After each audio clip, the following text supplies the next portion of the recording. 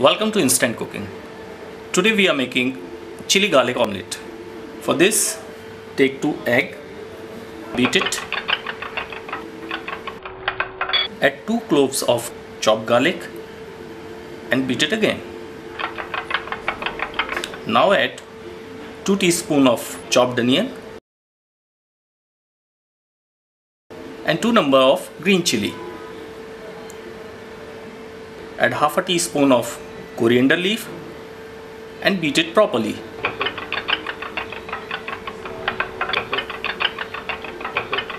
Now add salt to taste and mix it well.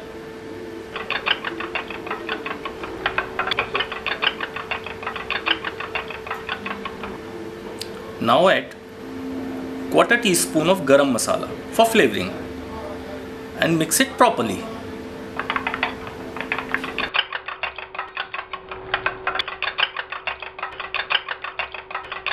And keep aside. Now take a pan, put 2 teaspoon of refined oil, spread it all over the pan, add 2 clove of chopped garlic, cook it for couple of seconds now add another teaspoon of chopped onion and cook it till onion is transparent. Now beat the egg mixture once again and pour it into the pan. Spread it all over and cover it and cook it on a low flame for a minute. After a minute, flip it very carefully and cover it once again and leave it for another minute. And after a minute, your chili garlic omelette is ready to eat.